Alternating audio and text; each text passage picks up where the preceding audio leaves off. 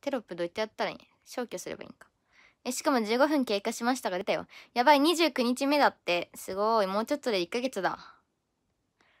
ちょっとね、明日はね、何時になるかわからない、ガチで。ガチで何時にできるかわからない。